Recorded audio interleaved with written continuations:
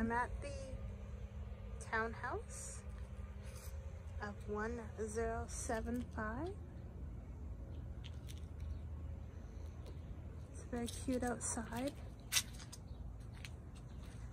There is one covered parking spot right here.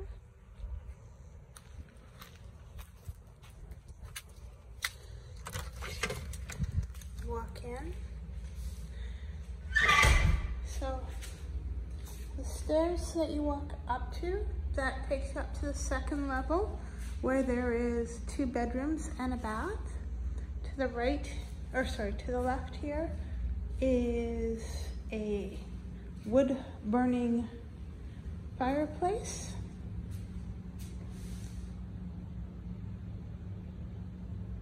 Really quaint little area. There's a downstairs area too, which is a flex space.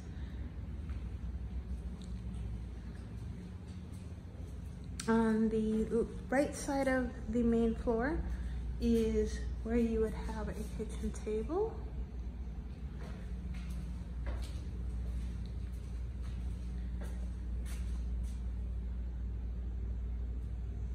And there's your little U-shaped kitchen. Has granite countertops, which is really nice. Stainless steel appliances. This window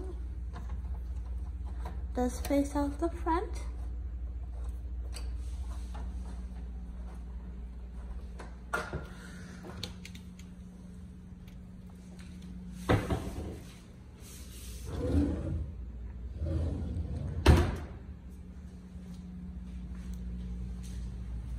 Right here is where your pantry would be.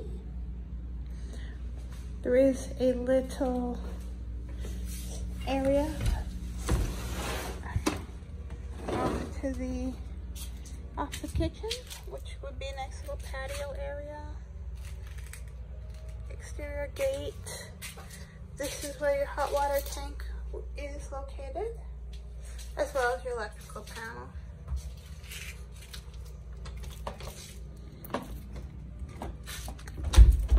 It's a very, very nice little area in here.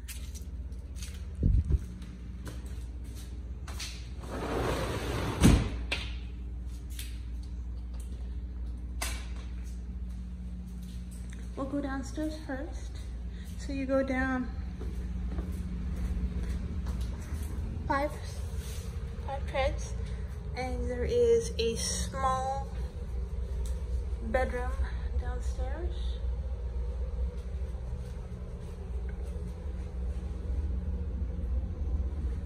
And a second bath. Does only have a corner shower, but a single vanity. And a toilet. Looks like an upgraded toilet. The tile is in decent condition. Here is that flex space that I was talking about.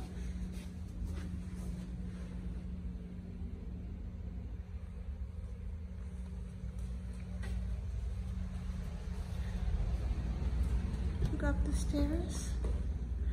We'll go up to the second level or the upstairs level. The bathroom is at the top part of the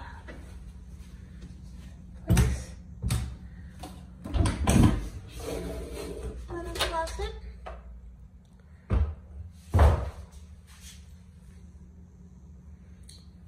Tub shower combination.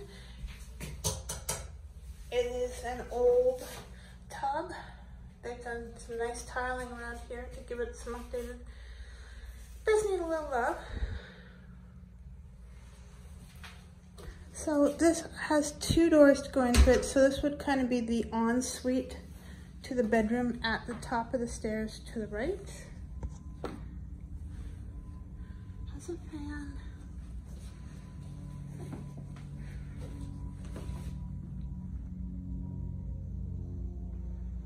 decent closet space.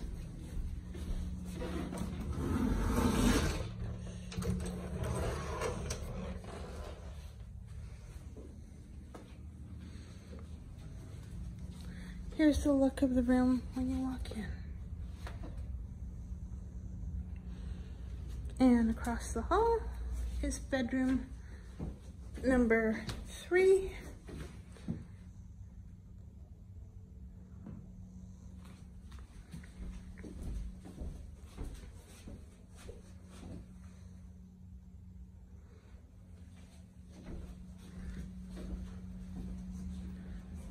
There's the vantage when you come out of your bedroom.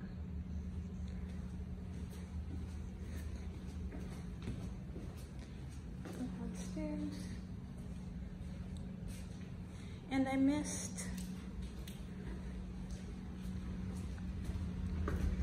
and the lower level by the flex room is where you can have in-suite washer and dryer stackable. So it's a cute little house. Um, let me know if you'd like any more information on it.